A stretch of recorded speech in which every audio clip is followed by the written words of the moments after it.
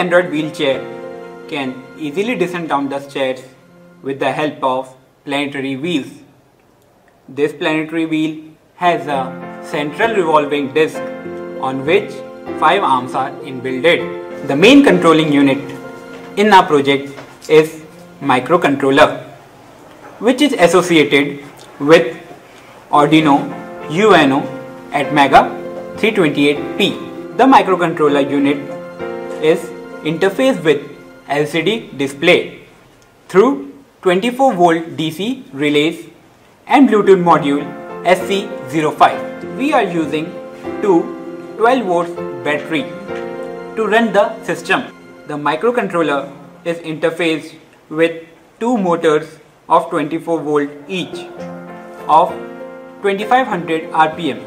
We are also using chain mechanism to run the wheels. We have jack. As you can see with the help of planetary wheels the wheelchair can easily descend down the left direction by pressing the left key.